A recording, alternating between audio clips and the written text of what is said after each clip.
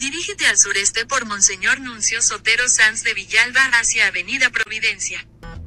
En el GPS que permite llegar bien a destino o el uso de cámaras de seguridad que permiten monitorear en tiempo real lo que ocurre en las ciudades. Son parte de los ejemplos del uso de la inteligencia artificial, que lo que buscan es facilitarnos el día a día. La inteligencia artificial está en todas partes y cada vez son más los avances que conllevan inquietudes. Cuando te digo inteligencia artificial, ¿qué se te viene a la mente o qué piensas?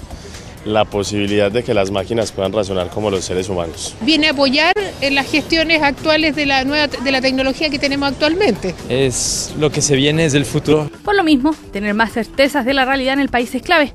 Ese objetivo se trazaron en el Centro Nacional de Inteligencia Artificial al presentar el primer índice latinoamericano en la materia. Y logramos levantar información respecto a tres dimensiones relevantes que tienen que ver con los factores habilitantes, la investigación y desarrollo y la gobernanza de los sistemas de inteligencia artificial. Un estudio que se levantó con información y datos de 12 países de la región, dejando un primer resultado interesante el que Chile lidera como referente en torno a la inteligencia artificial. Chile lidera junto con un poquito más arriba de Brasil y Uruguay. Hay avances en factores habilitantes, hay una eh, institucionalidad eh, pública bastante madura y hay una comunidad académica muy robusta. Eh, eso quiere decir que muchas cosas lo estamos haciendo bien, pero ninguno de los países realmente domina en todas las dimensiones. Hay algunos que se destacan en algunas, otros en otras, lo cual es muy bueno porque también da pie a esta colaboración, a este aprender en forma cruzada. Sin embargo, también se evidenciaron importantes desafíos.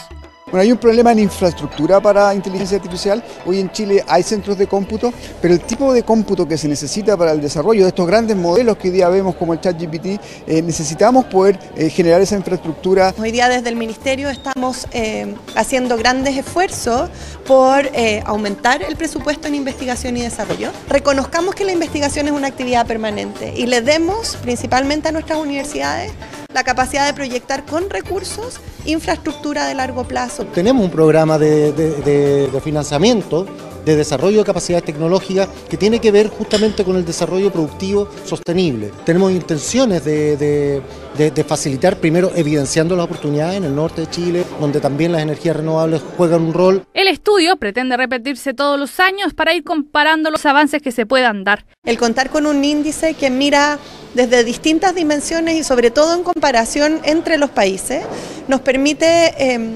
profundizar la colaboración internacional y también generar políticas públicas que son mucho más específicas.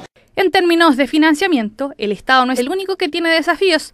De hecho, el índice demuestra baja inversión por parte de privados. La inversión está un 25% debajo de lo que debería ser solamente por el PIB que concentra América Latina.